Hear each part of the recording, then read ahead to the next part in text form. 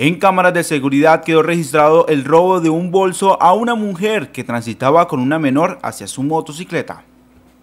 Los hechos ocurrieron en la vía principal del sector comercial cuando la víctima compraba en los locales ubicados por este sector.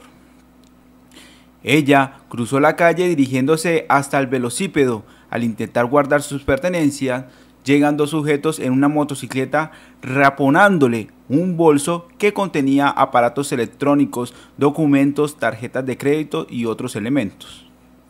Hoy esperan los vecinos y comerciantes que la seguridad por ese sector se garantice, ya que no es la primera vez que se presenta esta situación.